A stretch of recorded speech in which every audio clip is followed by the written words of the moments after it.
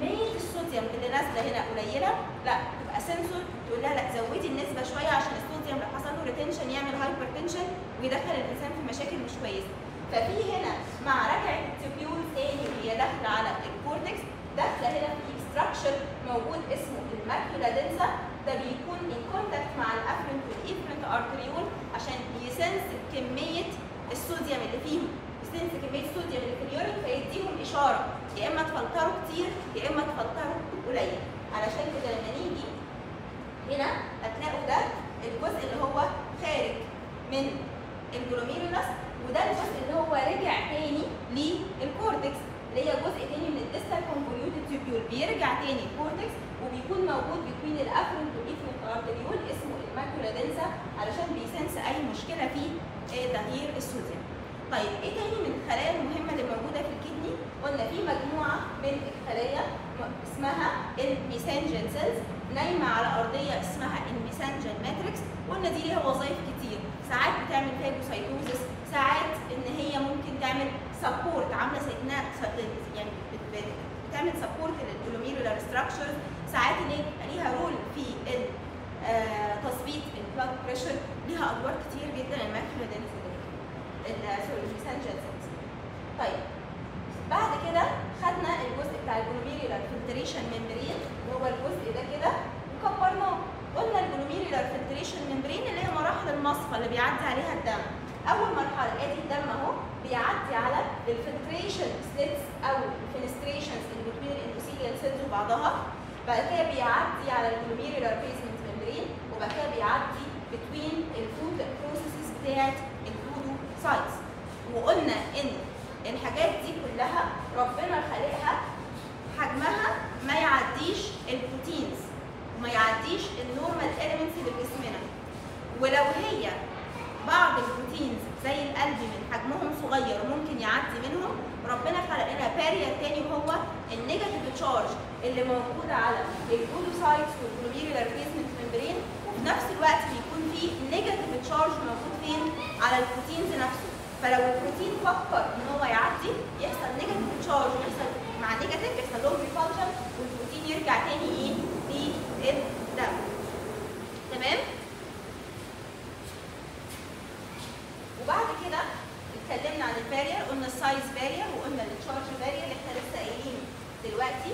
وبعد كده قلنا إن أنا عندي ال grades of glomerular injury ستة grades اللي يهمني فيهم من أول ثلاثة لغاية ستة أول اثنين دول ما فيهمش حاجة.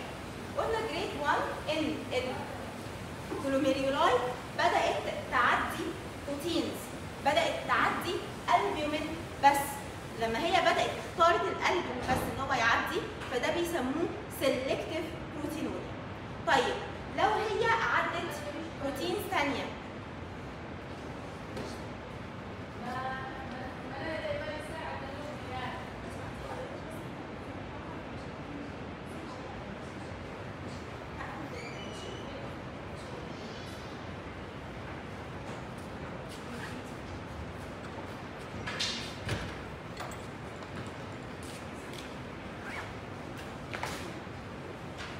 وقلنا ان ال grade الثانية ان ال glomerulus ممكن تعدي إيه؟ ممكن تعدي proteins ثانية غير الالبيومين اسمها non selective proteinuria بس الكميه بتاعتهم بتبقى أقل من 3.5 جرام per ديسي لتر اللي هي اسمها sub nephrotic range، ليه اسمها sub nephrotic range؟ لأن لو النسبة زادت عن 3.5 جرام per ديسي لتر بيبدأ الإنسان يدخل في حاجة اسمها nephrotic syndrome اللي هنتكلم عنها النهارده. طيب بعد كده ال grade 4 glomerular injury ده بتكون injury أكبر شوية فبدل ما ال glomerulus بتعدي proteins بس لا تبقى تعدي structures أكبر كمان من ال proteins اللي هم مين؟ ال RBCs والإنسان يدخل في حاجة اسمها nephritic syndrome طيب بعد كده المرحلة الرابعة مرحلة اسمها crescentic أو glomerulonephritis وال crescentic glomerulonephritis دي بيكون في مجموعة من ال structures اللي تتجمع في المنطقة دهيت وهنقول إيه هم ال structures دول من دلوقتي. فطالما في هنا الحتة دي اتسدت يبقى ال urine اللي جاي من ال Bowman's space مش هيقدر يعدي ويخرج تاني.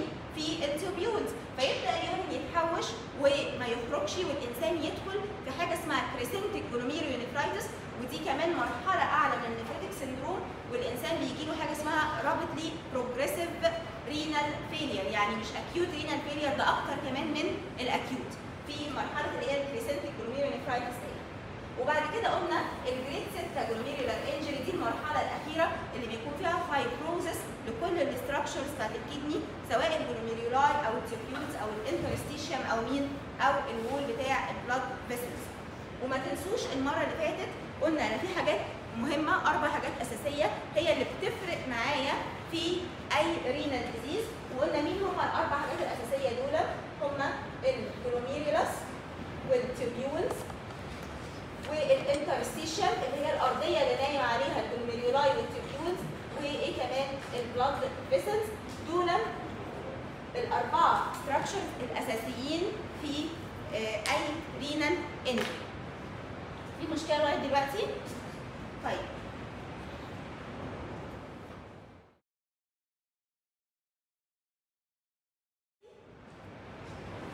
إيه بقى اللي ممكن إيه ال mechanism اللي ممكن يعمل ال diseases بتاعت ال nephrotic أو ال nephritic أو ال crescent أو الحاجات دي كلها؟ إيه ال mechanism بتاع ال glomerular injury وده سؤال على فكرة جه مرة في امتحان النظري. اللي هو سؤال الميكانيزم بتاع الجلوميريولار انجري الميكانيزم بتاع الجلوميريولار انجري ليه سببين أساسيين جدا. يا إما primary يعني المشكلة في ال glomerulus شخصيا يا إما secondary يعني إيه secondary كان في disease تاني وهو اللي أدى ال glomerulonephritis بسميها secondary glomerulonephritis زي العيانين اللي عندهم مرض الذئبة الحمراء اللي هو systemic lupus أو العيانين اللي هم عندهم diabetes أو في كذا مرض ممكن يعمل secondary glomerulonephritis المهم ال secondary glomerulonephritis إحنا هناخده كده في النص في وإحنا بنتكلم عن ال glomerulonephritis باختصار شديد ما عندناش فيه تفاصيل.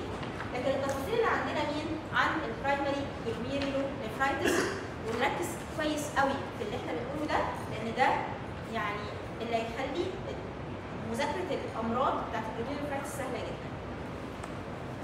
ال primary glomerulonephritis أهم سبب يعملها هو ال immune mechanism في مشكلة في ال immunity أدت إلى glomerulonephritis في حاجات ثانية non immune مالهاش أي علاقة بال immune mechanism ال primary قسمناه ل immune وإلى non immune طيب ال immune بقى تعالوا نركز معاه شوية وبعد كده نخلي ال non immune ده كلمتين في كلمة immune mechanism يعني أنا عندي إيه؟ عندي حاجة اسمها immune complex يعني إيه كلمة immune complex يعني antigen مسك في antibody برافو عليك. يعني إيه؟ antigen مسك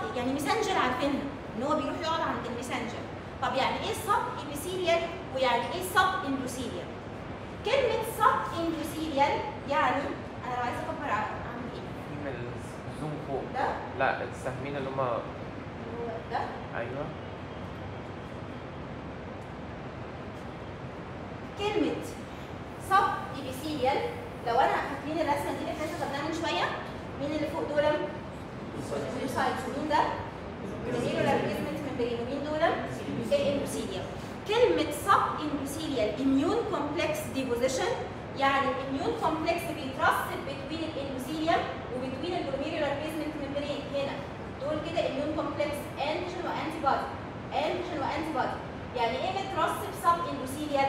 يعني مترسب بين ال endothelium وبين مين؟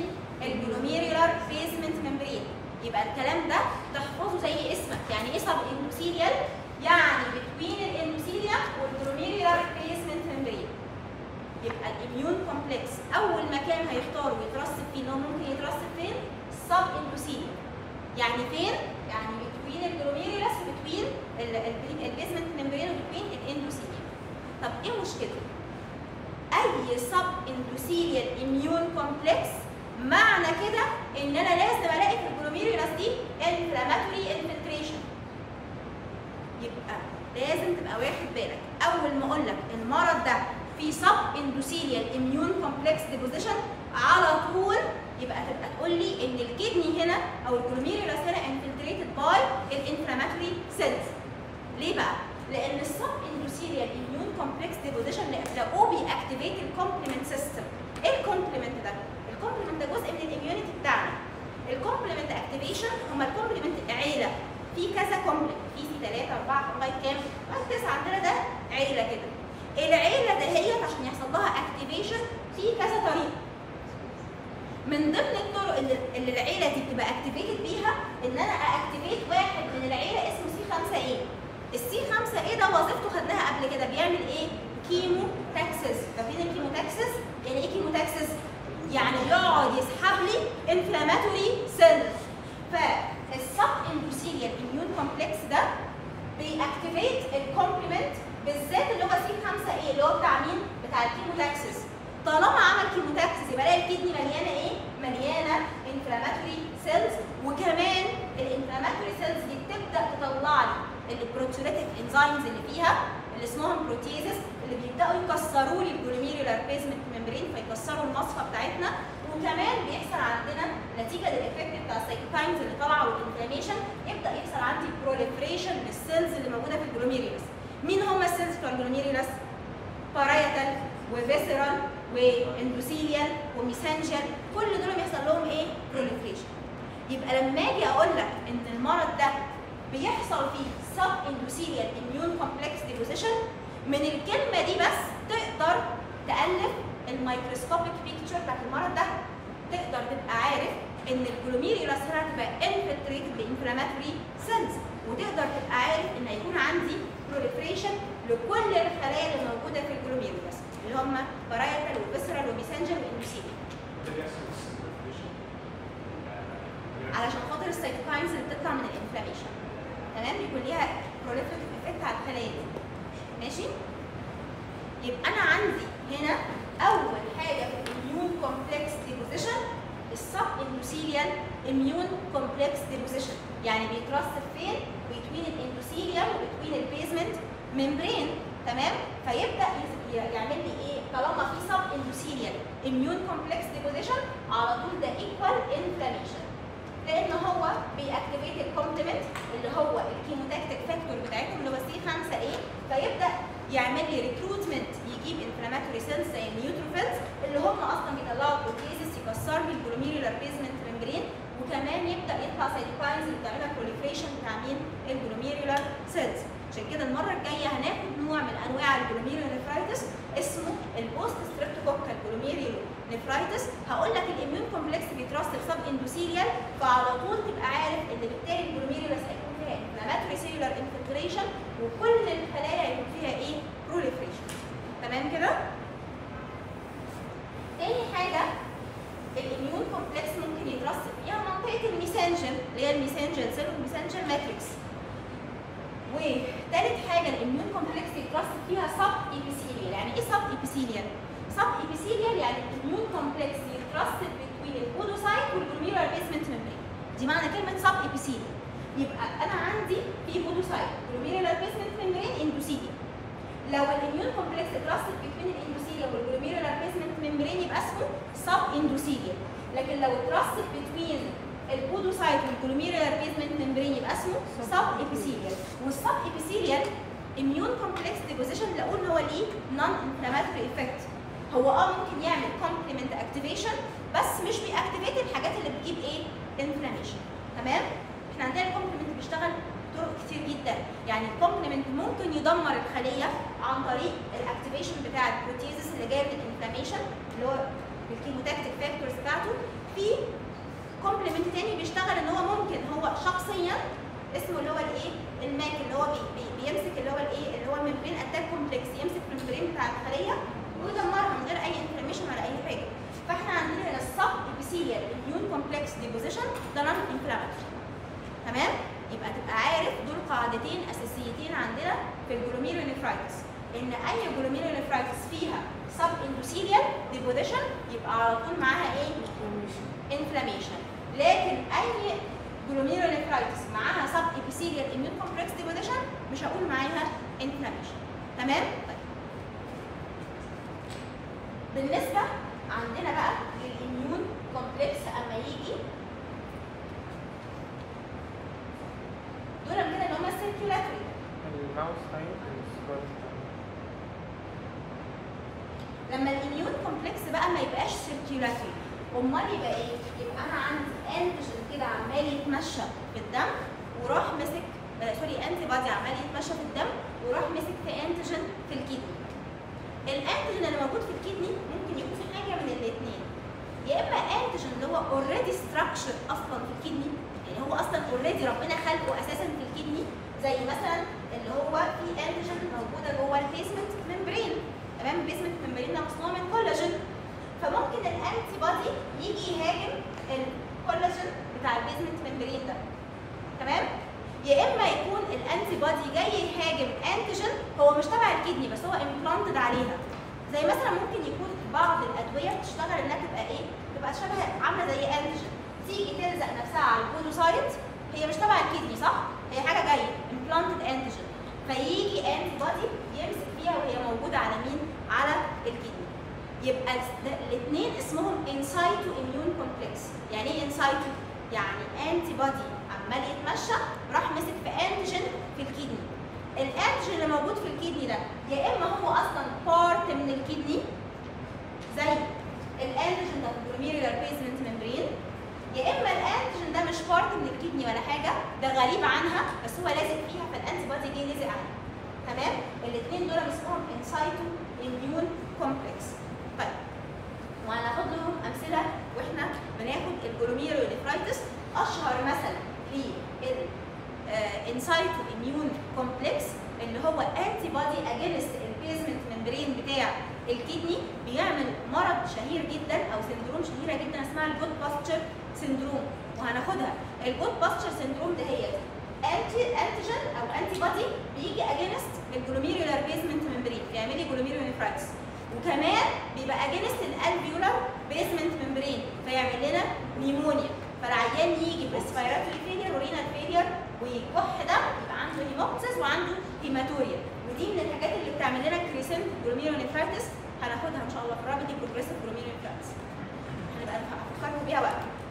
تمام؟ خدوا بالكم بقى من حاجة مهمة جدا هنا. إحنا عشان نشخص أمراض الكلى لازم نعتمد على ثلاث حاجات أساسية. اولا بنعتمد على شكل ال kidney disease ده بال light microscope إيه هو ال light microscope اللي هي اللي إحنا بنشوف في الاسم ده اللي هو عادي الميكروسكوب اللي اتفرجوا بيه على ال slides كمان بنحتاج حاجة مهمة جدا اسمها microscopy وده مش موجود عندنا أصلا في القصر العيني موجود في أماكن تانية. آه. تمام تاني في ال histology النهارده مش موجود عندنا إحنا ك histology. بس هو مهم جدا في تشخيص أمراض الكلى. عندنا تالت حاجة حاجة اسمها immuno fluorescent microscope يبقى أنا عندنا ثلاث أنواع من الميكروسكوبات كلهم بيكملوا بعض في تشخيص أمراض الكلى. أنا بصيت تحت الميكروسكوب لقيت حاجة معينة بال light microscope شكيت في حاجة معينة بال electron microscope ده أكدها لي وأكدها لي ال immunofluorescent أكتر حاجة بتوريني ال immune complex deposition في ال kidney هو مين؟ هو ال immunofluorescent microscope. ال immunofluorescent microscope بيديني صورة كده خلفية سوداء وال glomeruli بتبقى موجود عليها لونها أخضر. ماشي؟ بتبقى خلفية سوداء وال glomeruli بتظهر باللون الأخضر. طيب. فكل مرض من أمراض الكلى هناخد شكله بال light microscope وال electron microscope وال immunofluorescent أنا بجيب سيرة الكلام دلوقتي ليه؟ عشان خاطر بما إننا بنتكلم عن ال immune complexes في ال kidney ما ينفعش أتكلم عليها من غير ما أجيب سيرة ال immunofluorescent microscope طيب ودي قاعدة هنتفق عليها وهتفيدنا جدا في الأمراض اللي جاية. أي مرض فيه immune complex deposition اولا ال immune complex ده هعرفه بإيه mainly بال immunofluorescent طيب شكله هيبقى عامل إزاي بال immunofluorescent لو أنا عندي ال glomerulus بالمنظر ده كده. والأرضية اللي وراها هنا كده هتبقى دي كده سودا وال glomerulus هتبقى خضراء بالإيه؟ بال immunofluorescent. ال immune complex deposition في ال kidney هياخد لي شكل من الاثنين يا إما granular يعني إيه granular يعني ألاقيه قابب كده من فوق ال glomerular basement membrane ده كده اسمه إيه؟ granular يا إما ال immune complex deposition هيكون مجرد بس مدخن ال basement membrane من غير ما يعمل فيه granularity ولا أي elevation وده يسموه إيه؟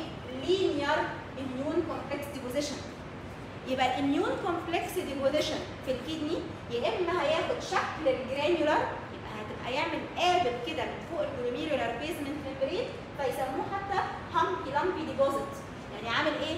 humps زي بتاعت الجمل كده تمام؟ يا إما ال immune complex مجرد بس يدخن ال basement membrane من غير ما يعمل أي granularity فده يسموه linear immune complex deposition طبعا هسألكم سؤال.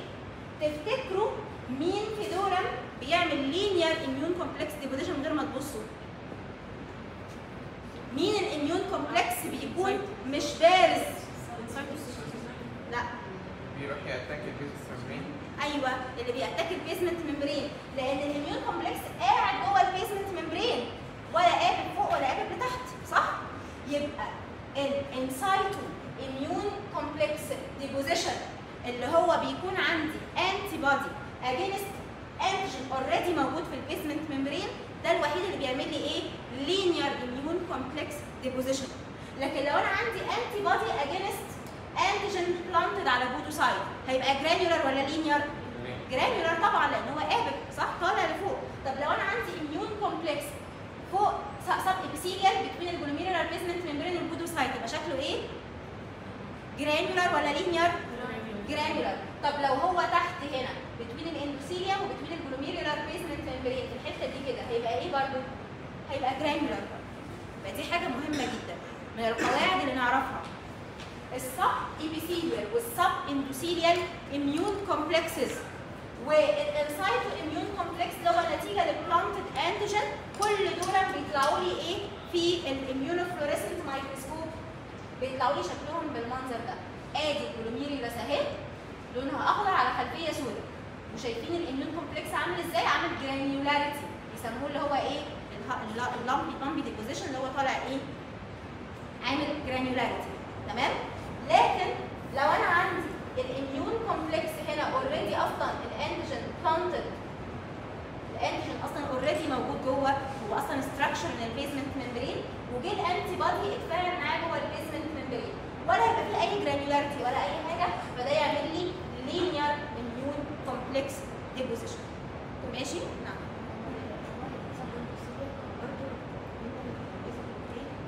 آه بس بارز مش جوه ال basement membrane شخصيا. يا بارز لفوق يا بارز لتحت. تمام؟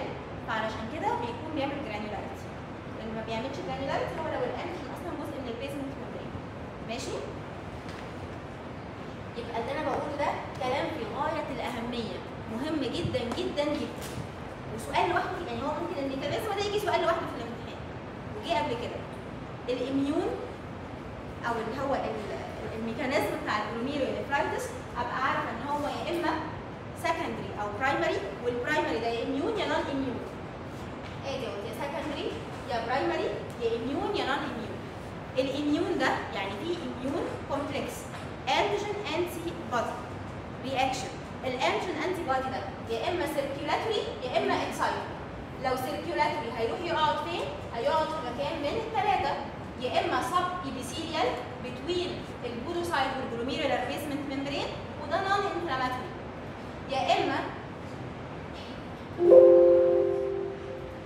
يا إما يبقى sub endothelial between ال glomerular basement membrane وال endothelium وده ي activate ال complement اللي هو ال chemotactic factors فتبقى تعمل لي إيه؟ تجيب لي neutrophils وتعمل proliferation لكل الخلايا اللي موجودة في ال glomerulus يبقى sub endothelial immune complex deposition equal inflammation و proliferation تمام؟ يا إما يروح يقعد في ال mesangial وده مش إيه؟ مش طيب يا إما ال immune complex يبقى in situ يعني إيه in situ يمسك ال antibody يمسك في antigen already موجود في ال kidney يا إما ال antigen ده هو موجود في ال kidney بس هو أصلا مش normal structure ليها يا إما هو أصلا normal structure لل kidney الاثنين اسمهم in situ immune complex deposition طيب. لو هو يا إما يمسك في planted antigen يا إما يقعد في antigen already present في ال kidney زي مين؟ زي اللي هو ال anti glomerular basement membrane antibody سواء ال immune complex ده كان circulatory أو سواء كان in situ و antibody مسك في antigen planted كل دول بال immunofluorescent microscope بيطلعوا إيه؟ granular لكن ال antibody لما يمسك في antigen already هو structure لل kidney زي ما بيمسك في الكولاجين بتاع ال glomerular basement membrane ده يعمل لي إيه؟ linear immune complex deposition في immunofluorescent microscope تمام؟ بعد كده ممكن ال kidney تبقى affected بشكل non immune آه زي ما قلت لكم من شوية. ساعات بيكون في mutation في genes خاصة ب proteins موجودة في ال podocyte ال podocyte دي فيها certain structures زي حاجة اسمها podocin وحاجة اسمها nephrin ممكن يحصل antigen mutation في ال proteins دي. لما بيحصل mutation يحصل effacement لل foot process بتاعة ال podocyte يعني إيه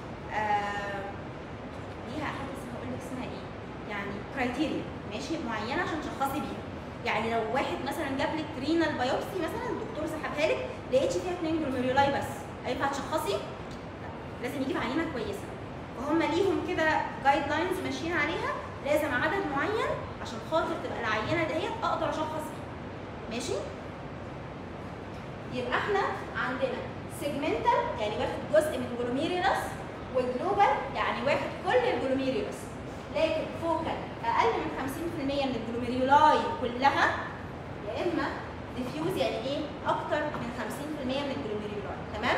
طيب.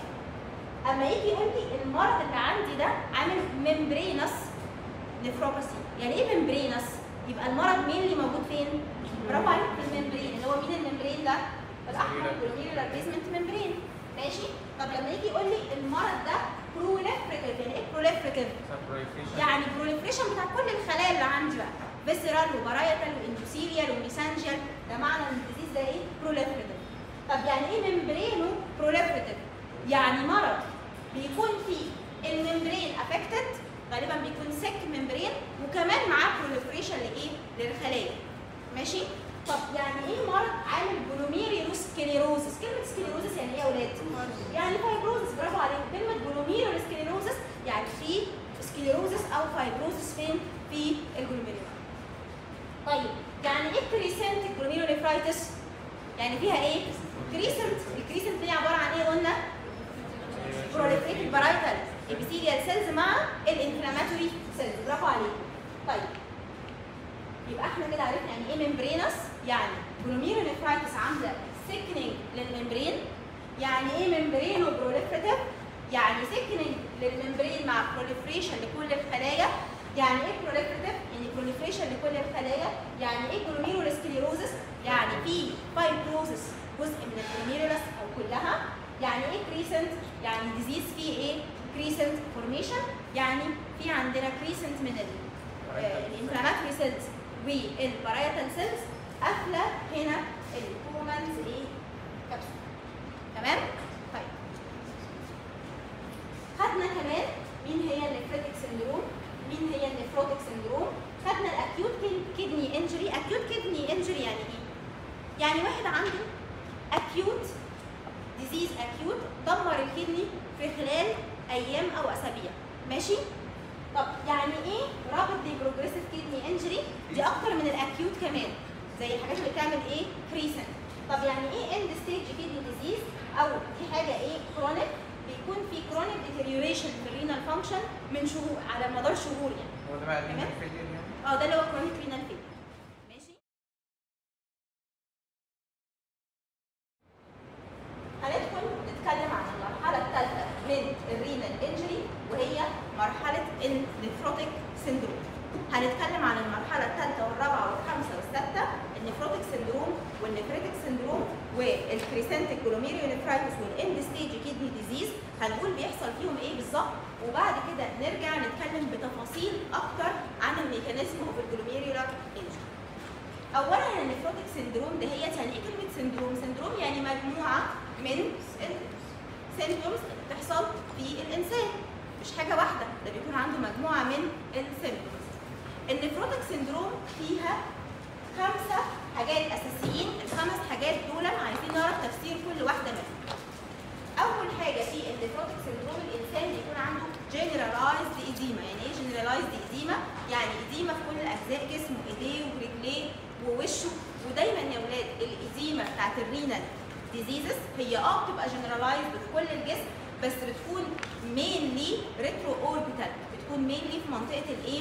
ال eye. فتلاقي عيان ال renal disease اللي هو عنده edema جسمه كله مورم بس أكتر حاجة نلاحظ فيها الورم هي إيه؟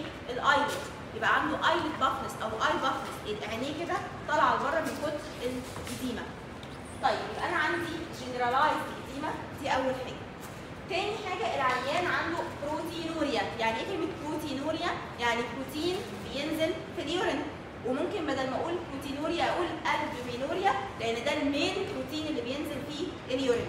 بس لازم أبقى عارف إن البروتين اللي بينزل في ال urine أكتر من 3.5 جرام per day وده اللي بسميه nephrotic range. لما تروحوا كده أي رعاية كلى أو أي آه، اسم بتاع آه، nephrology في البطنة أو رعاية البطن أو الحاجات دي هتلاقوا أهم حاجة في عيان الكلى انهم يحسبوا له ال urine output بتاعه. يشوفوا بيجيب urine قد إيه في اليوم وكمية البروتين في ال urine ده. فده موضوع مهم جدا في عيانين ال kidney فهم بيجمعوا ال urine في ال 24 ساعة هنلاقي فيه أكتر من 3.5 جرام بروتين موجودين في ال urine ده. طب بما إن في proteinuria بروتين عمال ينزل فيه ال urine هنلاقي الدم بتاعنا ال proteins اللي فيه قليل ولا كتير؟ قليل. يبقى أنا عندي hypoalbuminemia يعني ال proteins اللي في الدم أو الالبومين في الدم قليل بيكون أقل من 3 جرام بالديسيليتر طيب العيان ده بيكون عنده hyperlipidemia يعني الدم بتاعه فيه دهون زيادة وبالتالي الدهون دي بتبدأ تنزل في ال urine فيجي له حاجة اسمها lipiduria. وهنقول هنعرف ليه دلوقتي؟ يبقى خمس حاجات أساسيين فين في عيان ال nephrotic syndrome generalized edema proteinuria nephrotic range فوق ال nephrotic range اللي هي أكتر من 3.5 جرام بال day hypoalbuminemia يعني اللي في الدم قليل أقل من 3 جرام per ديسيليتر وعنده hyperlipidemia الدهون في الدم زيادة وعنده lipiduria يعني الدهون اللي نازلة في ال urine كتير. طيب لو نفكر كده هو ال liver بتاعنا لو أنتوا فاكرين يعني من سنة أولى هو ال liver بتاعنا بيصنع قد إيه بروتين في اليوم؟ مش فاكرين. يعني أضحك عليكم بأي رقم. ال liver بتاعنا بيطلع من 9 ل 12 جرام من البروتين في اليوم. طب لو ال 9 أو 12 جرام دول نزل منهم 3.5 في ال urine ليه الإنسان يبقى مريض؟ ما هو عنده كتير جوه لأن مش كل يعني هو ال liver كل اللي بيصنعه بينزل في ال urine وكل حاجة بس اللي بينزل فعليا في ال urine هم ال 3.5 جرام لكن بقية ال proteins بت- بتتكسر عن طريق مين؟ بتتكسر عن طريق الخلايا دي بتتكسر عن طريق الخلايا اللي هنا بتوع ال proximal convoluted tubule يبقى في proteins نازلة في ال urine وفي بروتين بيحصل لها breakdown هنا في ال proximal convoluted tubule علشان كده أنا بلاقي بس في ال urine 3.5 جرام بالديسيليتر لكن الباقي آه بينزل بس بينزل يتكسر فين؟ عن طريق ال proximal convoluted tubules تمام المهم عايزين نفسر بقى كل حاجة من الحاجات بتاعه ال nephrotic syndrome دي طبعا المشكلة عندنا في أمراض كتير قوي هناخدها. الأمراض دي بت manifest بإنها عندها الإنسان بيبقى بتظهر عليه المرض إن هو عنده nephrotic syndrome مع اختلاف السبب. في ناس السبب عندها تكون ال podocytes ال foot process بتاعت ال podocyte بقت flat يعني ما بقاش فيه الرجلين دي ما بقاش فيه ال filtration slits أو ال filtration diaphragm اللي هي بين الرجلين بتاعت ال podocyte. يحصل حاجة اسمها effacement of podocyte foot process يعني بدل ما ال podocyte عاملة كده لا نلاقي ال podocyte بقت عاملة كده. ما بقاش فيه ال foot process دي فإحنا اثرنا على مين؟ على ال filtration membrane وده أشهر مثال بيحصل بسببه ال nephrotic syndrome في كذا مجموعة من الأمراض. في حاجات تانية سببها immune complexes في أسباب كتير قوي ممكن تؤدي إن الإنسان ده يجيله nephrotic syndrome لأن مش مرض واحد بس اللي بي manifest ب nephrotic syndrome لا دي مجموعة من الأمراض وهناخد كل واحد بالتفصيل مع السبب بتاعه. لكن المحصلة عندي إن الإنسان ده ال pores بتاعت ال kidney اللي هي الفتحات بتاعت ال kidney بدأت تعدي proteins أكتر من 3.5 جرام per day طيب البروتين عمال ينزل في ال urine. إيه اللي يحصل؟ لما البروتين ينزل في ال urine اتفقنا إن هو هيقل في الدم العيان هيجيله hypoalbuminemia طب أنا عندي blood vessel أهو. ال blood vessel فيه عندنا اثنين pressure hydrostatic pressure وايه كمان؟ وال osmotic pressure مين المسؤول عن ال osmotic pressure ده؟ ال plasma proteins طب ال plasma proteins نزلت في ال urine يبقى ال osmotic pressure ده ماله؟ هيقل جدا صح؟ يبقى مين اللي هياخد ال upper hand ال hydrostatic ال hydrostatic ده بيزق fluid ولا بيسحب fluid بيزق fluid بره ال blood vessel فال fluid يبدأ يتجمع فين؟ في ال interstitium يعني اللي هي المنطقة اللي حوالين ال blood vessel علشان كده العيان هي manifest بايه ب edema ليه edema المية عمالة تطلع بره ال blood vessel وعمالة تتحوش فين؟ في ال interstitium فطبيعي ألاقي الإنسان جسمه كله مورم. طب ده مش كده وبس. ده إحنا يعني لازم نبقى عارفين إن ال edema بتاعت ال renal disease بتكون massive edema. قاعد يسموها anasarca anasarca يعني generalized edema وعنيفة جدا. طيب طب إيه اللي خلى ال edema عنيفة؟ هل ال inter ال fluid اللي خارج في ال interstitium ده؟ لأ ده في حاجات ثانية هو ال fluid لما خرج بره ال interstitium هل ال fluid اللي موجود جوه ال blood vessel بقى نسبته قليلة ولا زيادة؟ قل يعني في hemoconcentration ولا hemodilution؟ hemoconcentration الدم بقى مركز لأن أنا عمالة أطلع إيه؟ منه مية طيب ال hemoconcentration ده بي sense حاجة عندنا موجودة فوق في ال brain في ال hypothalamus حاجة اسمها ال osmoreceptors فال osmoreceptors لازم تظبط إن الدم ولا يبقى concentrated ولا يبقى diluted ولا في مية كتير ولا في مية قليلة. فيبدأ ال osmoreceptors دي يحصل لها stimulation وتبدأ تزود ال production بتاع مين؟ ال antidiuretic hormone تمام؟ ليه؟ لأن الدم المية فيه قليلة. فأنا عايز أمنع ال diuresis عايز أمنع نزول المية في ال urine فأبدأ أعمل retention لل water طب لما أعمل لما نطلع ال antidiuretic hormone ده ونبدأ عمالين نحوش مية في جسمنا مش ده هيزود لنا ال edema هيزود لنا الاديمه طيب إيه تاني؟ لما أنا عندي هنا قللت ال fluid اللي جوه ال blood vessel ال fluid عمال يطلع لأن ال osmotic pressure قليل وال hydrostatic pressure عالي. فال fluid عمال يطلع بره ال blood vessel ويتحوش في ال interstitium هل الدم اللي رايح لل organs بتاعتنا هيكون كويس ولا هيكون في hypoperfusion هيكون في hypoperfusion أنا مقلل ال fluid اللي موجود في ال circulation مين أكتر organs بتبقى من أكتر ال organs اللي بتبقى affected بال hypoperfusion ال kidney ال brain طبعا وال kidney. بس ال kidney بيكون ليها رد عنيف against ال hypoperfusion ده ما بتستحملهوش. أول ما الدم اللي يروح لل kidney يبقى قليل تبدأ يحصل stimulation ل system اسمه ال renin angiotensin system تبدأ ال kidney تطلع حاجة اسمها renin ال renin ده بيحول مادة اسمها angiotensinogen ل angiotensin 1 وال angiotensin 1 يتحول لحاجة اسمها angiotensin 2 مش مهم الحوار ده المهم محصلة ال stimulation بتاع ال renin angiotensin system إن هو بيعمل إيه؟ بيعمل لي vasoconstriction يعني بيضيق ال blood vessel طب أنا ضيقت ال blood vessel ال hydrostatic pressure كده ال flow هيزيد ولا هيقل؟ هيزيد يبقى في more hydrostatic pressure عمال يزيد يبقى في more fluid هيطلع منين؟ من ال blood vessel يبقى أنا برضو ما حصلتش إن أنا زودت إيه؟ زودت ال edema طيب إيه كمان؟ لما ال renin angiotensin system بيشتغل مش مجرد بس إنه بيعمل vasoconstriction ده ليه effect كمان. بيروح يشتغل على ال adrenal cortex عارفين ال adrenal اللي هي ال suprarenal gland بيروح يشتغل على ال adrenal cortex وي stimulate ال production بتاع هرمون اسمه ال aldosterone ال aldosterone ده بيعمل إيه؟ بيعمل salt water retention sodium water retention طب sodium water retention هيعمل إيه؟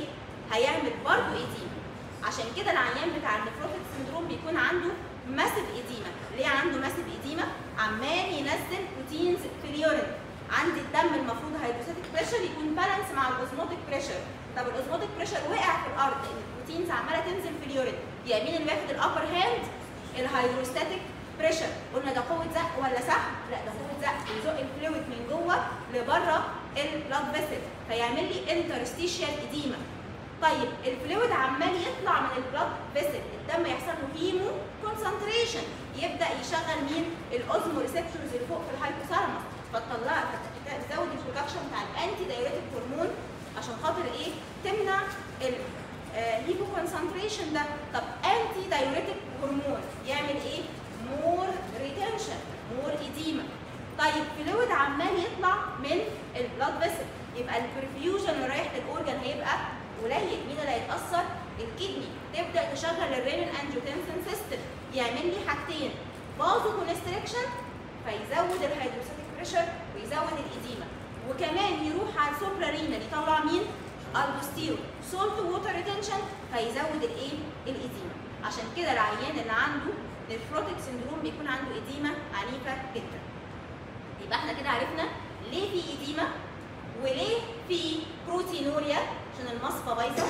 لأسباب كتير هنقولها. وال proteinuria بالتالي تؤدي إلى hypoalbuminemia يبقى إحنا كده فسرنا ثلاث حاجات منين؟ من ال nephrotic syndrome. ناقص لنا ال hyperlipidemia وال lipiduria طيب ال proteins ال liver عمال يصنعها عمالة تنزل في ال urine تنزل في ال urine مش ال liver هيطلب يعني هيبقى المفروض يعمل إيه؟ لازم ي compensate لازم يعمل أي حاجة تعويضية عشان يعوض ال proteins اللي عمالة تنزل في ال urine دي فمن ضمن ال compensation بتاع ال liver اللي هو بيزود ال production بتاع مين؟ بتاع ال lipoproteins فلما يزود ال production بتاع ال lipoproteins كنوع من أنواع ال compensation تبدأ ال lipoproteins دي.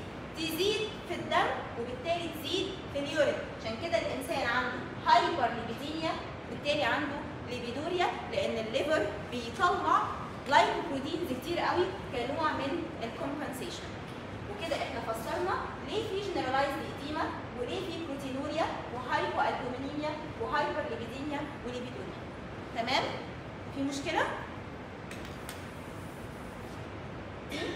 مجموعة ال diseases اللي عندنا في المنهج اللي بتعمل لنا nephrotic syndrome هناخدهم كلهم بالتفصيل. مرض اسمه minimal change disease وده أشهر مرض يعمل nephrotic syndrome في الأطفال. و focal segmental glomerulosclerosis وده أشهر مرض يعمل nephrotic syndrome في الكبار. ومرض تاني اسمه membranous nephropathy ومرض اسمه membranoproliferative و glomerulonephritis secondary لأي disease يعني إيه secondary هقول لكم كمان شوية إن ال glomerulonephritis مش لازم تكون المشكلة في ال kidney ممكن يكون عيان عنده diabetes عنده systemic lupus عنده مرض تاني يؤدي إلى glomerulonephritis سيبكم من الكلام ده هنقوله بالتفصيل وقت.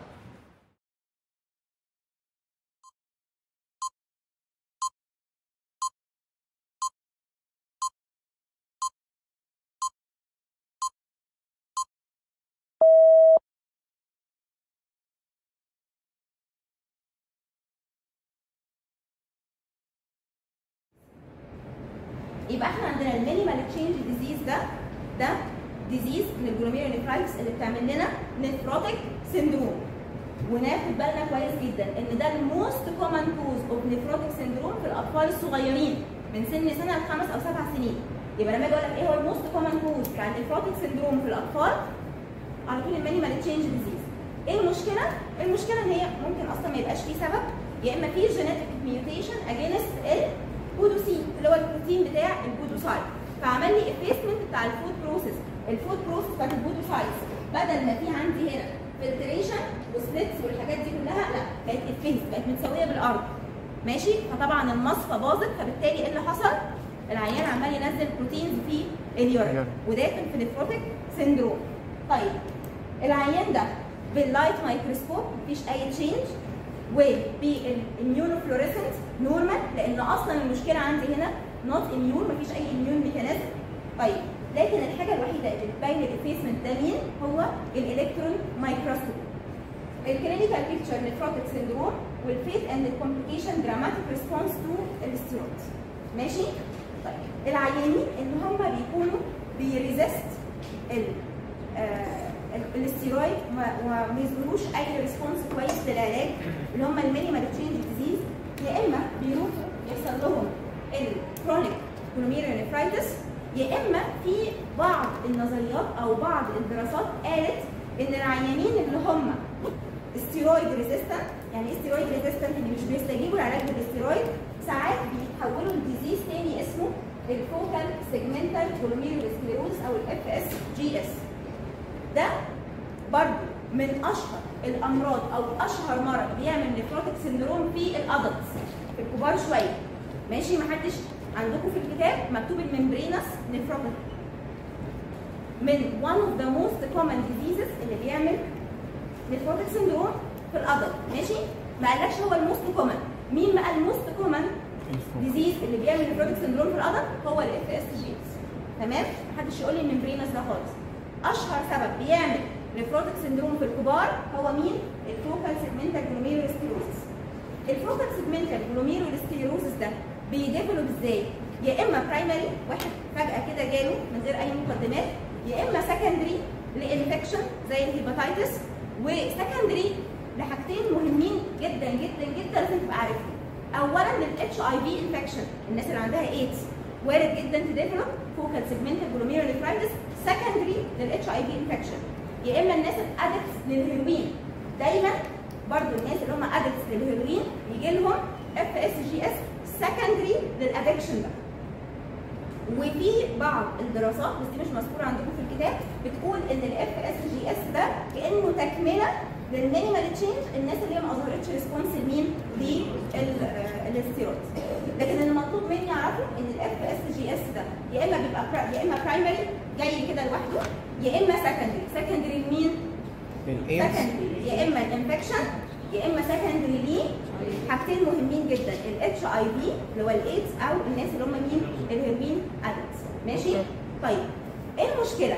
هو اسمه إيه؟ المرض ده اسمه إيه؟ اسمه focal segmental glomerulosclerosis يعني إيه كلمه focal فاكرين لما خدنا ال terminology في الأول يعني إيه كلمه focal أقل من 50% من ال total number بتاع ال glomeruli يبقى أقل من 50% بتاع مين ال total number طب يعني إيه كلمه segmental يعني part من ال glomerulus الواحده هو اللي بيحصل فيه affection يبقى ده part من ال glomerulus وقلنا عكس focal إيه global diffuse وعكس segmental آه، global. global ممتازين طب glomerular جاي من glomeruli و sclerosis يعني إيه fibrosis كلمه sclerosis يعني fibrosis فاحنا عندنا ال disease ده بيتميز ان لو أنا واخده renal biopsy أقل من 50% من ال glomeruli بيبقوا affected فعشان كده بسميه focal ولو جيت على مستوى ال glomerulus الواحده بلاقي فيه إيه؟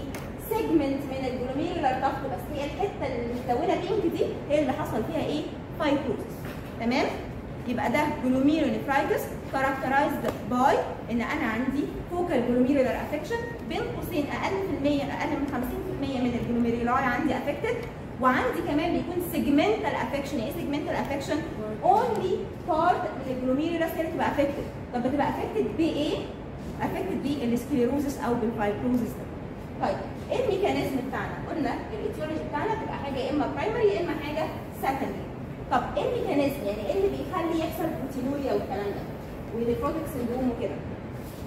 لقوا هنا نفس الكلام بتاع ال minimal change إن أنا عندي genetic defect فين؟ في ال- اللي هي ال genes اللي بت encode ال podocin واللي بتنكود النفرين والبودوسين والنفرين الاثنين دول عبارة عن إيه؟ proteins موجودين على ال podocyte فعملنا فيهم genetic mutation أدى إلى على طول effacement of ال foot process بتاع ال podocyte يبقى نفس الكلام بتاع ال focal segmental هو نفس الكلام بتاع ال minimal change. الاثنين سبب ال proteinuria فيهم non immune يعني إيه non immune المشكلة فين. ما بقاش لها رجلين. حصل لها complete effacement of ال foot process هل في immune complex deposition ما فيش immune complex deposition هنا تماما. ولا في ال minimal change ولا في ال focal segmental. تمام؟ الاثنين سبب ال proteinuria وسبب ال nephrotic syndrome فيهم هو الإيه؟ ال effacement اللي هو بتاع ال effacement بتاع ال podocyte foot process. تمام؟ طيب.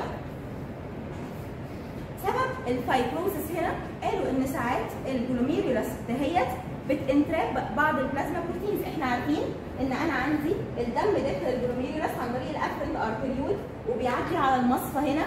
تمام؟ والدم ده مليان plasma proteins ودي ال capillaries ساعات الدم وهو داخل بي entrap بعض ال plasma proteins يعني مش كل الدم بيتصفى في شوية plasma proteins بيفضلوا قاعدين جوه ال capillary tuft هنا. وبعد كده يحصل عليهم hyalinosis أو fibrosis وهو ده السبب اللي بيحصل segmental fibrosis أو segmental sclerosis في ال focal segmental glomerulosclerosis وفي حاجة مهمة جدا لمعلوماتكم لازم تبقوا عارفينها هي مش موجودة في الكتاب. بس ما ينفعش ما نقولهاش وإحنا بنتكلم عن ال focal segmental glomerulosclerosis إن ال glomerulus هنا مش بس بلاقي فيها ال entrapped plasma proteins وال fibrosis. لا ده في حاجة مهمة جدا خلايا مهمة جدا. هي اللي بتعرفنا ال focal segmental glomerulosclerosis لما بنلاقيها جوه ال glomeruli والخلايا دي هي مين؟ ال foamy macrophage يبقى لما بلاقي جوه ال glomerulus شخصيا foamy macrophage دي إشارة واضحة جدا إن العيان ده عنده إيه؟ focal segmental glomerulosclerosis خصوصا في بداية المرض تمام؟ يبقى إحنا العيان ده بال light microscope بلاقي إن أنا عندي segmental glomerular sclerosis ومعانا كمان بيكون في إيه؟ foamy macrophage طب تحت ال immunofluorescent في حاجة؟ لا لا ما عنديش immune complex هنا خالص تمام طب أمال بال electron microscope في مين effacement of ال podocyte foot process العيان ده بيجي يشتكي من إيه بيجي بال presentation أو ال manifestation بتاعت إيه بتاعت ال nephrotic syndrome طيب إيه ال fate وال complication بتاعه العيان ده غالبا ممكن ي respond لل steroid بس في معظم الاحوال بي develop end stage kidney disease يبقى لو أنا حطيت جدول كده الجدول ده هنا فيه ال minimal change اخر حاجة هنقولها النهارده لو أنا عندي جدول هنا كده فيه ال minimal change disease والجدول التاني فيه ال FSGS لو جيت قلت لك اولا الإيدج بتاعنا ال minimal change فين؟ في الصغيرين من واحد لخمس سنين وال FSGS ده فين؟ ده في ال adult لو جينا اتكلمنا عن ال etiology السبب ال minimal change disease غالبا of unknown etiology بس قال إن أحيانا بيكون في ال genetic mutations against ال podocyte بروتين لكن هنا ال FSGS فعلا proved إن في إيه؟ mutation تمام؟ هل ال mechanism بتاعنا بتاع ال glomerulonephritis هنا immune ولا non immune؟ لا طبعا برافو ده non immune برافو عليك non immune أمال إيه السبب؟ عبارة عن إيه؟ effacement الاثنين بيشتركوا إن في ال effacement of ال podocyte foot process وطالما عملنا effacement ال podocyte foot process يبقى على طول المصفى باضت وعمالة تعدي فيه بروتين طب لو جينا نتكلم بال morphology بتاعه تحت ال light microscope ال minimal change no change under light microscope أمال FSGS بيبان ال segmental sclerosis مع ال foamy macrophages طيب ال immunofluorescent هل الاثنين فيهم حاجة؟ لا لأن أنا ما عنديش immune complex ال immunofluorescent ملوش دور هنا طب أمال ال electron microscope الاثنين فيه إيه؟ في ال effacement بتاع ال podocyte foot process طب لو جينا اتكلمنا عن ال recovery أو ال أو مش ال recovery بقى ال fate وال complications بتاعتهم ال minimal change disease dramatic على response طول dramatic response لل corticosteroid أمال ال FSGS غالبا بيبقى steroid resistance والعيان بي develop chronic disease أو end stage kidney disease وطبعا الاثنين دول هم ال most common causes بتوع ال nephrotic syndrome سواء كان في ال children أو هنا فين؟ في الاب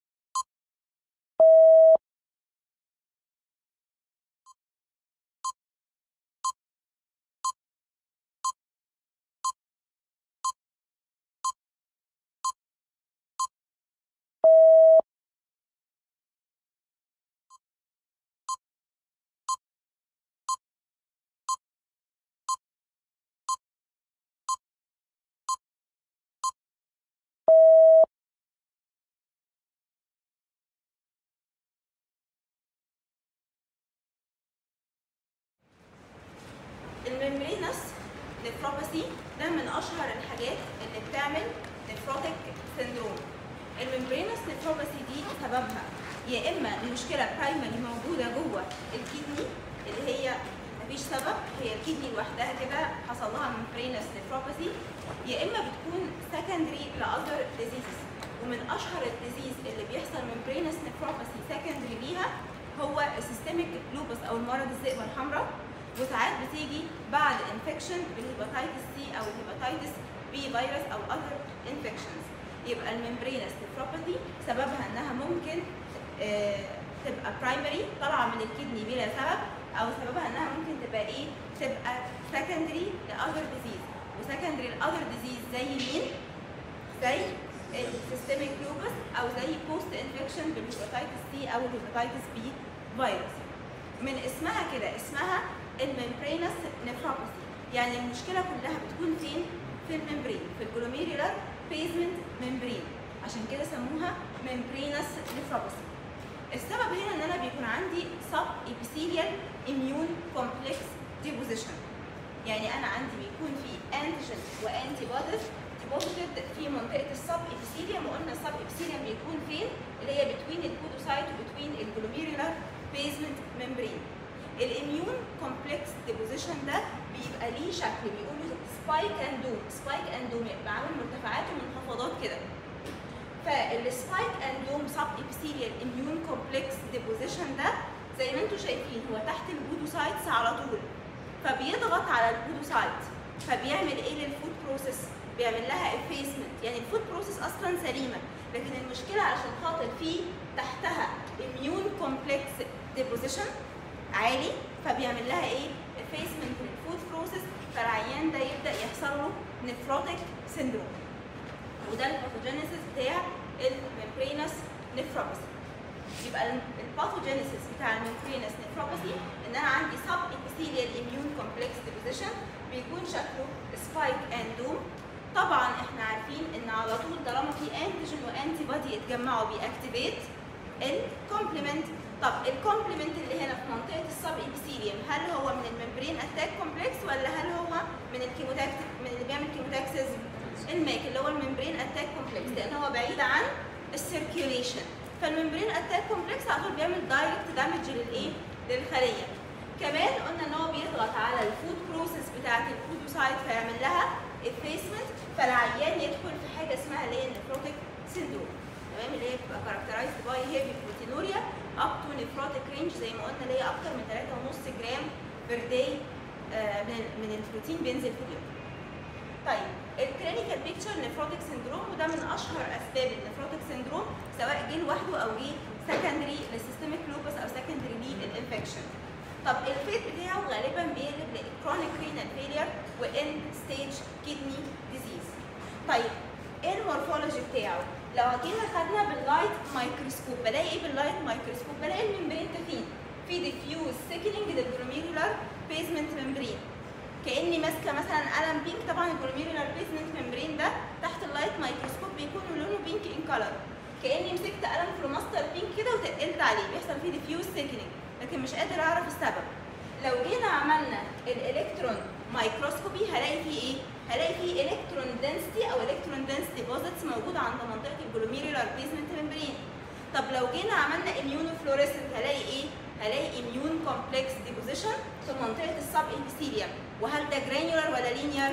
طبعا هيبقى granular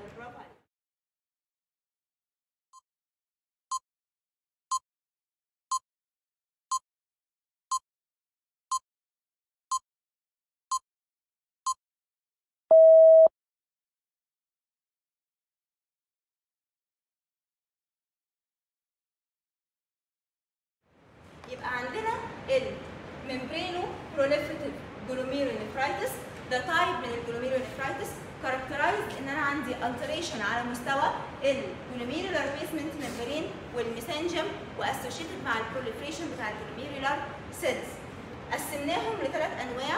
type 1 type 2 type 3 type 1 ده بيكون characterized إن أنا عندي subendothelial immune complex deposition اللي بت attract ال chemotactic complement factors اللي بيجيب لي inflammatory cells اللي بيكون ليها proliferative effect على ال mesangial cells وال endothelial cells وكلمة لو لقيتوا كلمة عندكم في الكتاب اسمها endocapillary proliferation فدي مقصود بيها ال endothelial cell proliferation بيبدأ ال mesangial وال endothelial cells يدخلوا نفسهم وسط ال glomerular basement membrane يحصل لهم interposition ويبدأوا يعملوا لي ال double contouring أو ال tram track appearance طيب كل الحاجات دي وال subendothelial immune complex deposition لل inflammation على طول تعمل لي nephritic syndrome دايما ال nephritic syndrome بتكون مع ال inflammation تمام؟ فطالما أنا عندي هنا subendothelial immune complex deposition و inflammation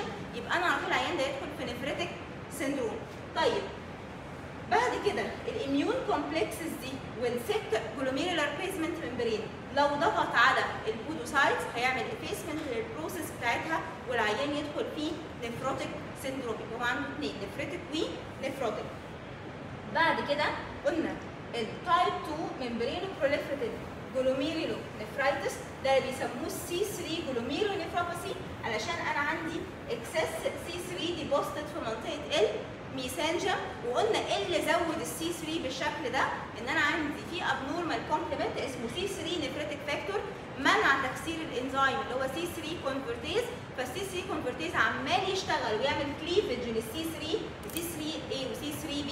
C 3 B ده ليه membrane attack complex يعني بيمسك فيه ال membrane بتاع الخلية ويكسرها فبيعمل لنا طبعا damage لل glomerular وبعد كده قلنا type 3 membranoproliferative إن أنا عندي ال subendothelial immune complex حصل لها extension وراحت فين؟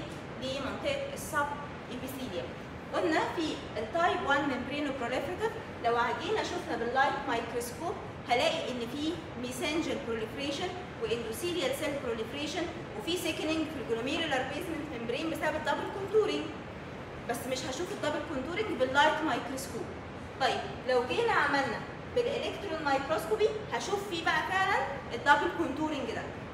طب لو جينا عملنا fluorescent هلاقي فيه subendothelial immune complex deposition وطبعا ال site يعني دايما ال immunofluorescent بيعرفني إن في immune complex granular ولا linear لكن ال site هو subepithelial ولا subendothelial ولا mesangial اللي بيقول لي عليه مين؟ ال electron microscope برافو عليك. طيب بعد كده طبعا ال type 3 بيكون فيه subepithelial و subendothelial immune complex deposition لكن ال type 2 بيكون عندي اكسس سي 3 موجود في منطقة ال mesangial بيبان شكله granular بال immunofluorescent microscope وبيبان بال EM إن أنا عندي الكترون density في منطقة ال mesangium وبيبان في ال light microscope إن أنا عندي بس ال mesangium زايد شوية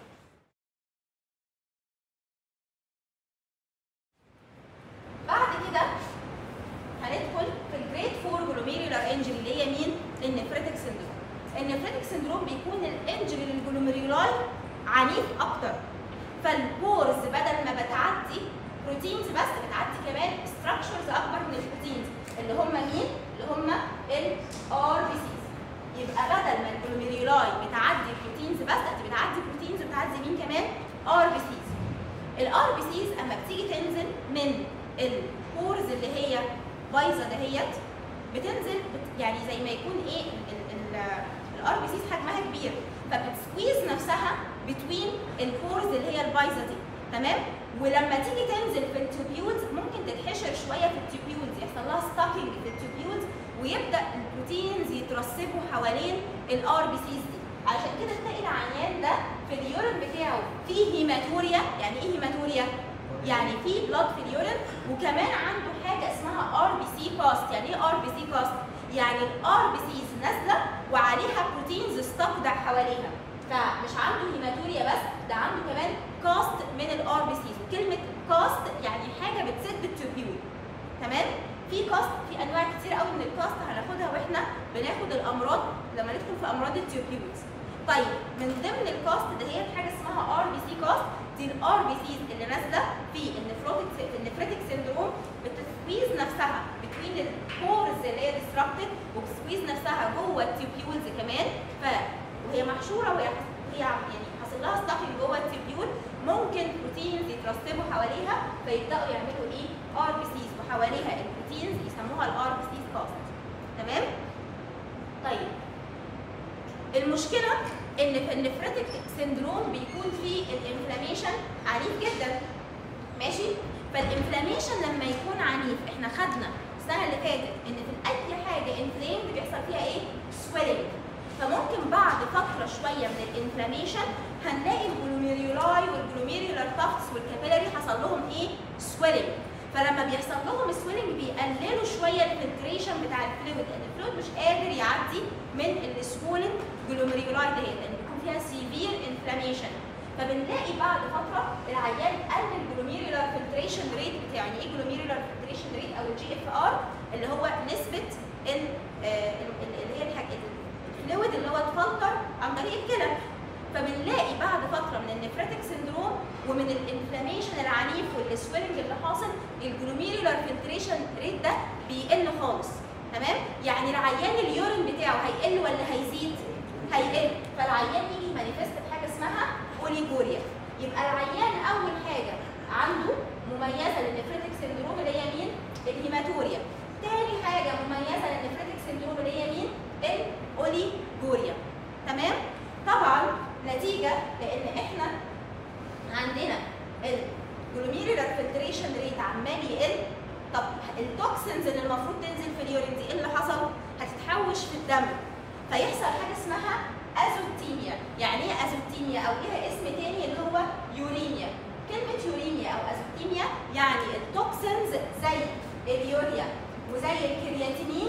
الاثنين دول بدأوا يزيدوا جدا فين؟ في الدم.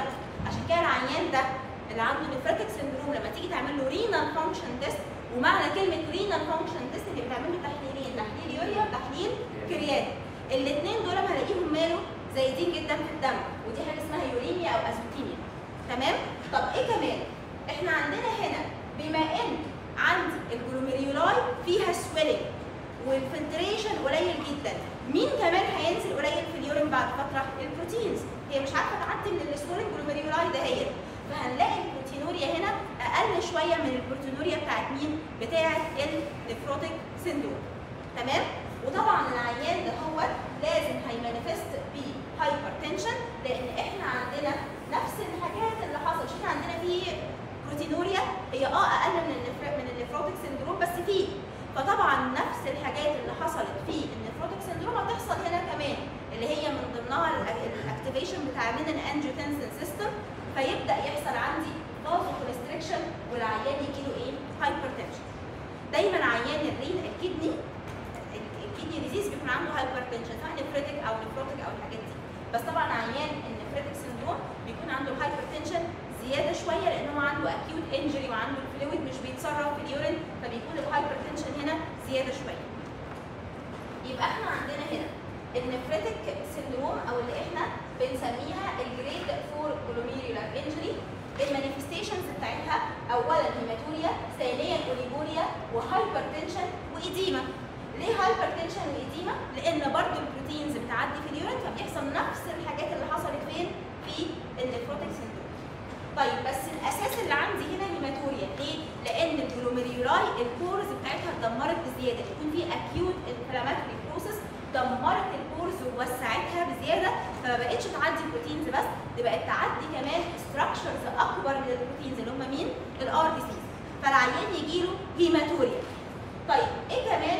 قلنا نتيجة لل inflammation بعد فترة يحصل swelling في ال glomeruli فما تقدرش تفلتر الدم كويس.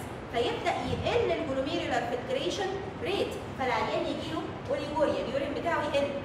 كمان ال toxins اللي مش بتنزل في ال urine عمالة تتحوش في الدم فالعيان يجي له azotemia أو uremia إلى جانب إن أنا عندي proteins بتنزل في ال urine وكل حاجة زي ال nephrotic syndrome بس بنسبة أقل شوية. ليه نسبة أقل شوية؟ لأن ال glomeruli مالها swollen مش قادرة تعدي كل حاجة. هي في الأول في أول ال inflammation قبل ما يحصل edema عنيفة نزلت ال RBCs تمام؟ لكن بعد فترة بقى في edema و swelling فبالتالي إيه اللي هيحصل؟ مش هتقدر تعدي proteins زي ال nephrotic ماشي؟ فيحصل albuminemia albuminuria وكل حاجة بس أقل منين؟ من ال nephrotic syndrome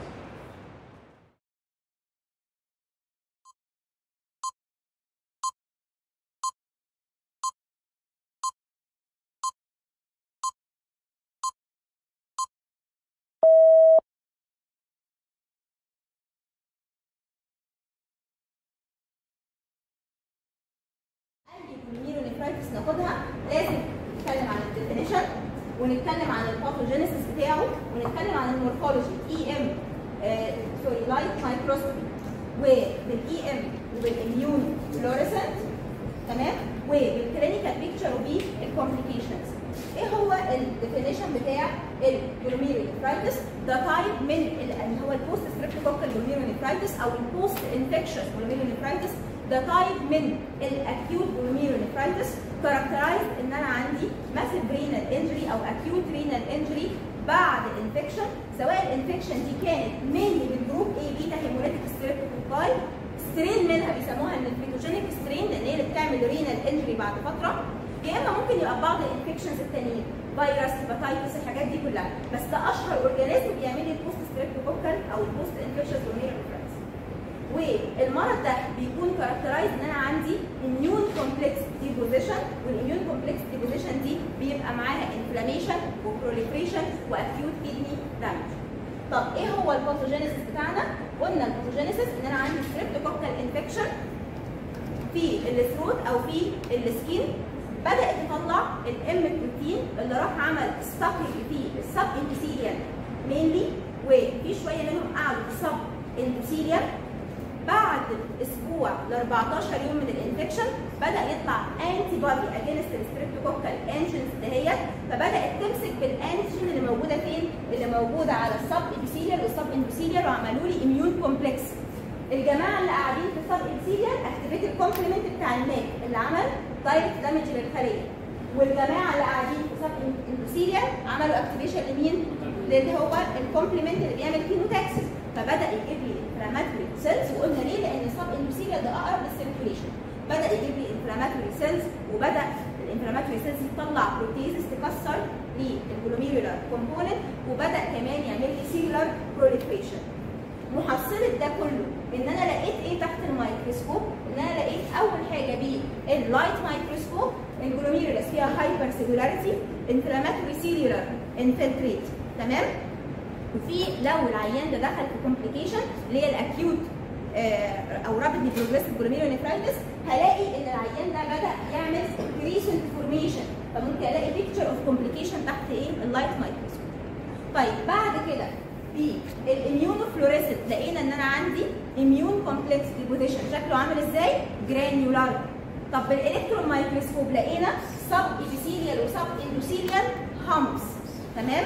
أو electron densities وبيسموهم إيه؟ humps ال clinical picture العيان ده يجي ب acute nephritic syndrome وقلنا بقية الحاجات اللي هي ال azotemia وال hypocomplementemia وال complication أو ال fate بتاعه rapid recovery لو هم أطفال صغيرين يا إما يمشي في اتجاه من اثنين سيء جدا وبسرعة اللي هو ال acute rapid progressive GN يا إما يمشي في ناحية ال scarring وال end stage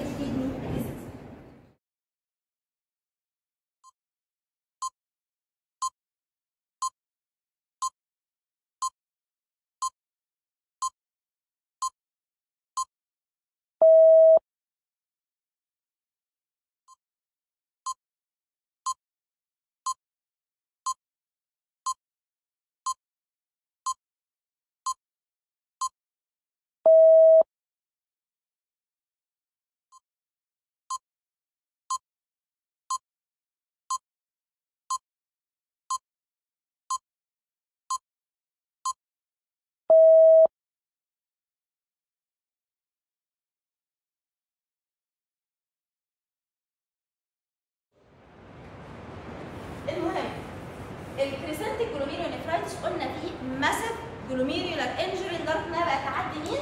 ال fibrin. ال fibrin ده لما بيعدي بيتكسر وبيديني حاجة اسمها fibrin degradation products ده اختصارها ال FDPs أو ال fibrin degradation products دي مواد بتنتج نتيجة تكسير الفايبرين اللي معدي من ال glomeruli البايظه دي. طيب ال fibrin degradation product دي إيه هي خطورتها؟ خطوره الفايبرين ديجراديشن برودكت إنها بتستيميوليت البروليفريشن بتاع الإبيثيليوم اللي موجود. الخلايا اللي موجودة في ال glomeruli بيحصل لها stimulation انها بت proliferate خصوصا الخلايا اللي هي مين؟ اللي كانت ال parietal epithelial cells بال lining Bowman's capsule دي.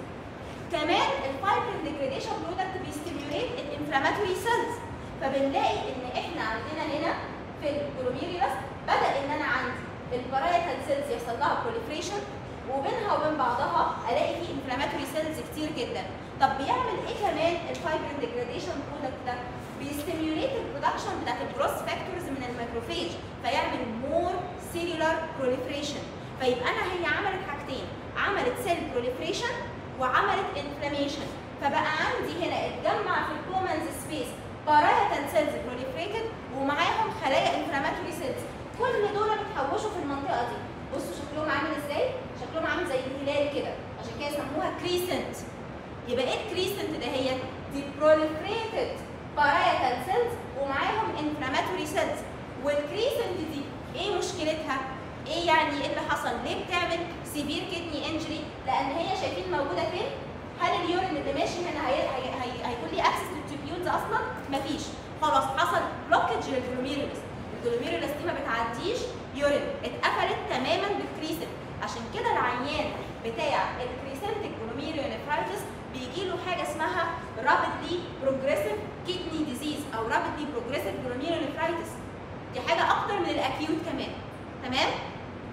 طيب يبقى عندنا هنا ده grade 5 glomerular injury اللي هو ال crescentic glomerulonephritis massive damage لل glomeruli بقت تعدي الفايبرين واكبر molecular weight ال fibrin اللي اتكسر دي حاجة اسمها ال fibrin degradation product اللي بدأ ي stimulate ال proliferation بتاع ال parietal epithelial cells وبدأ يجيب لي inflammatory cells كمان في المنطقة. ال glomerulus اتاخدت ب crescent من ال proliferated parietal cells و inflammatory cells فمنع إن أي urine يعدي فيه ال tubules عمل لي blockage لل glomerulus فالعيان يحصل له rapidly progressive glomerulonephritis تمام؟ ال acute rapidly progressive glomerulonephritis أو بيسموها ال crescent glomerulonephritis بتيجي سؤال مهم جدا في الامتحان على فكره وبيجي يقول لك define يعني إيه crescent glomerulonephritis هتقول له it's a clinical syndrome characterized by حاجتين clinically rapid loss of ال renal function طب تحت الميكروسكوب. على طول crescent تمام؟ طب إيه اللي بيحصل فيها؟ severe damage لل glomeruli ب inflammation أو بأي حاجة تمام؟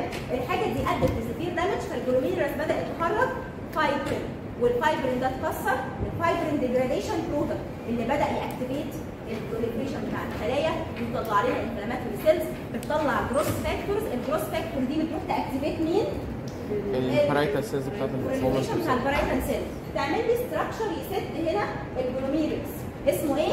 crescent وال crescent دي لوحدها بتيجي تعريف في الامتحان بتتكون من إيه؟ من ال inflammatory cells اللي هم ال monocytes ال monocytes دول اللي هم زي ال macrophages والحاجات دي وال lymphocytes والحاجات دي ماشي؟ فايبرين. ومعاهم فايبرين ومعاهم proliferated parietal cells واتفقنا قلنا إن في نوع منها بيكون طبعا اسمه Goodpasture syndrome ده نوع واحد منها لكن في أنواع ثانية ال Goodpasture syndrome ده عندي إيه؟ عندي autoantibodies against مين؟ ال glomerular basement membrane collagen فبيروح يعمل لي linear deposition ل immune complex ليه؟ لأن أنا عندي ال antigen جاهز وال antibody جه مسك فيه ماشي؟ طيب. يبقى أنا عندي ال Goodpasture syndrome autoantibodies against ال glomerular basement membrane و against ال alveolar basement membrane فالعيان يجيب acute renal failure و acute respiratory failure ب hematuria وب hemoptysis شكل العيان ده تحت الميكروسكوب. ال light microscope هيبان لي مين ال crescent ده هي طيب أمال لو عملت له immunofluorescence وهو عنده Goodpasture syndrome هيبان linear immune complex deposition تمام؟ مفيهوش granularity خلي بالك الكلام ده مهم جدا في ال MCQ طيب. وال clinical manifestations بتاعته طبعا اللي هي acute renal failure وال complications بتاعته acute renal failure ومعاها acute respiratory failure لو هو عنده Goodpasture syndrome في مشكلة؟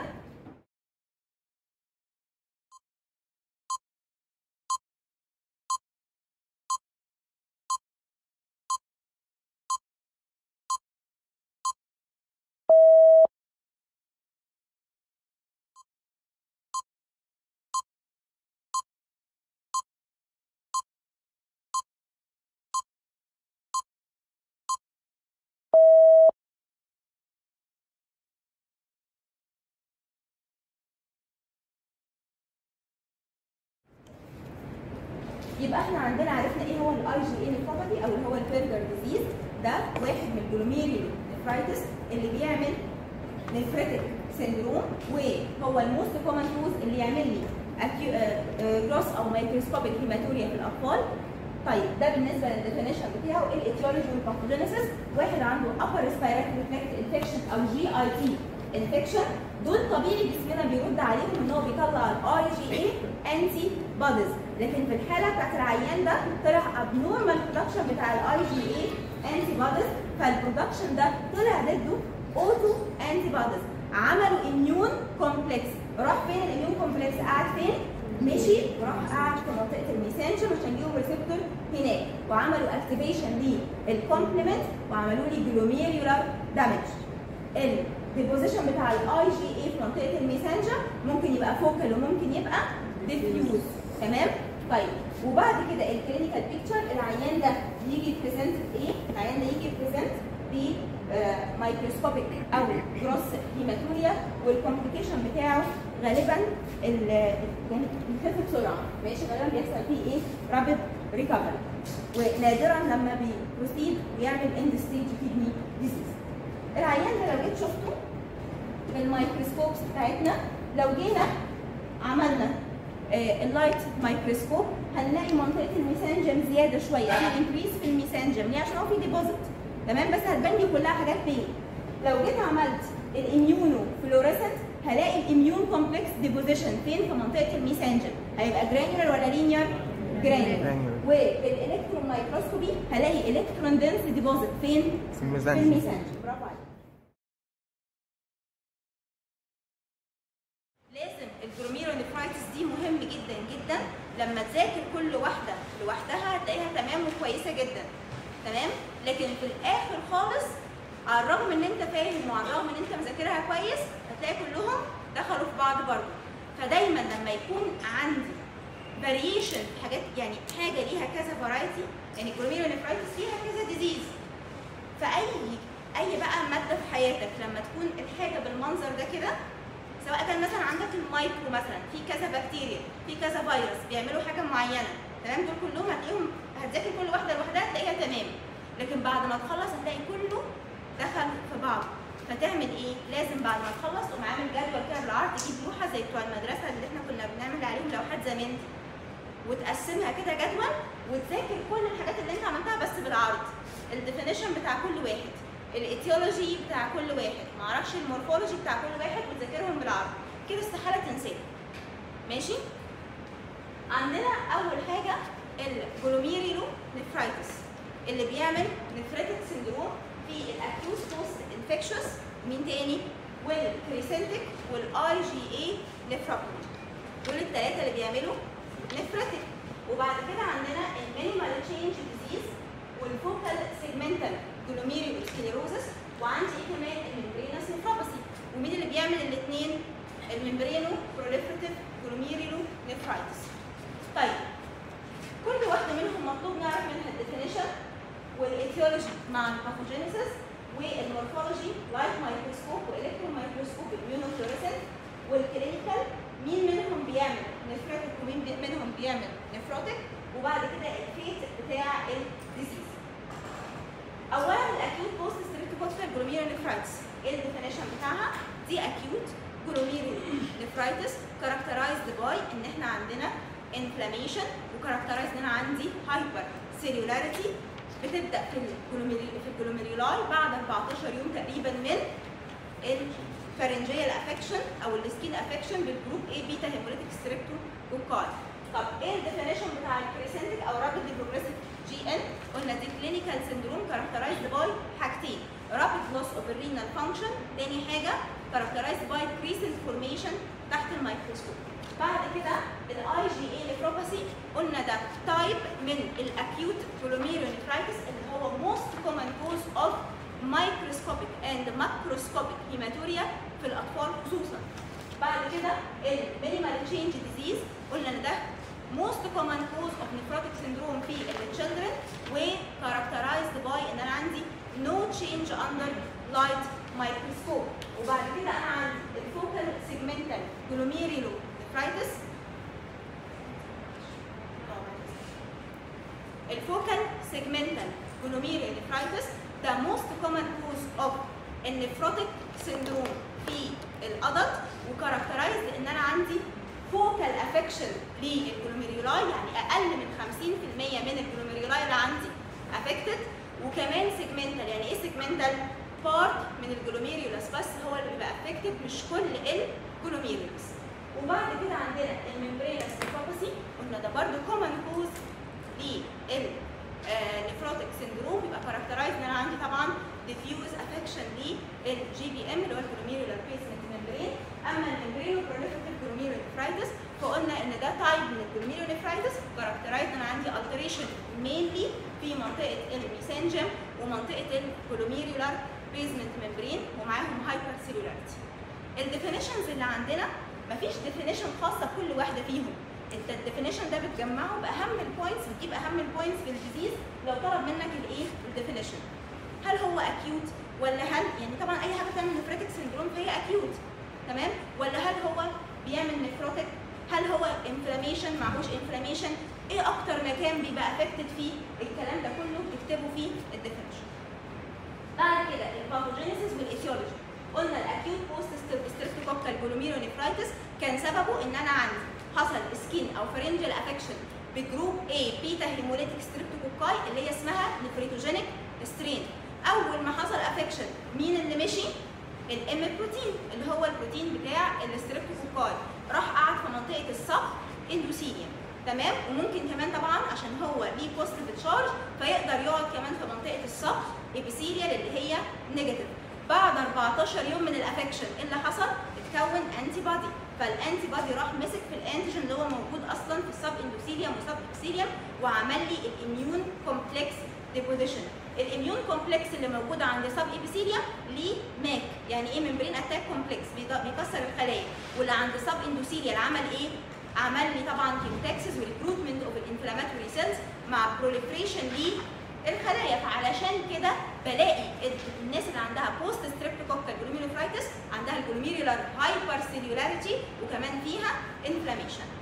طيب بعد كده ال crescentic glomerulonephropathy characterized إن أنا عندي أي سبب سواء infection أو أي سبب عمل لي acute glomerulonephritis بس بقى ماله. السبب ده بقى exaggerated جدا وعمل لي marked damage لل glomerulo لل glomerular structures فلما عمل لها marked damage بقت تقدر تعدي مين من خلالها؟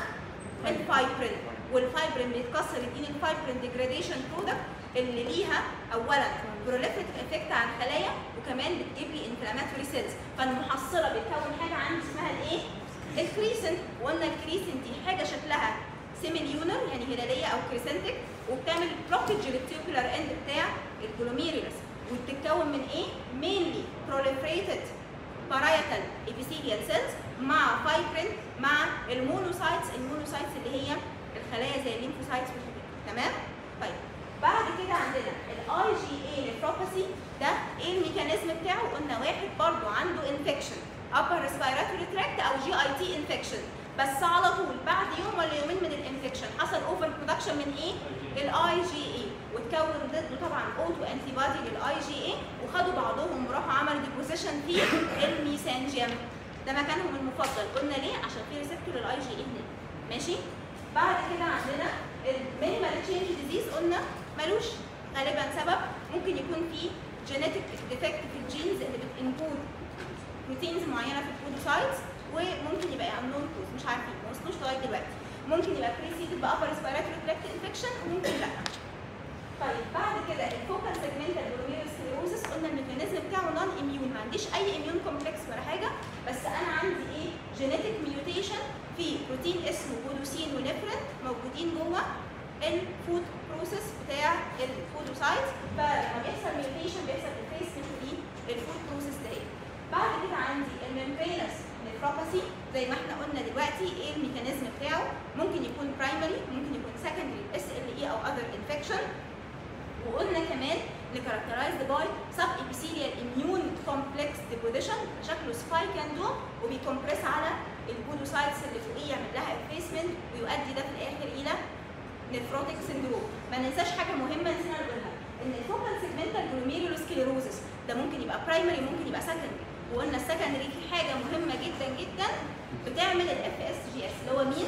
الايدز أو الناس اللي هم ال addict للهيروين بعد كده اخذنا ال membrane ال proliferative GN قلنا ده برضو acute form من ال glomerulonephritis characterized by إن أنا عندي alteration في ال GBM في ال mesangial مع hypercellularity و proliferation وقلنا عندنا إن ال mechanism بتاعه ال type 1 بيكون subendothelial immune complex deposition عمل activation لل complements فعمل لي proliferation لل mesangial cells وال endothelial cells اللي دخلوا عملوا interposition جوه ال membrane. فعمل خلوه شكله عامل إزاي؟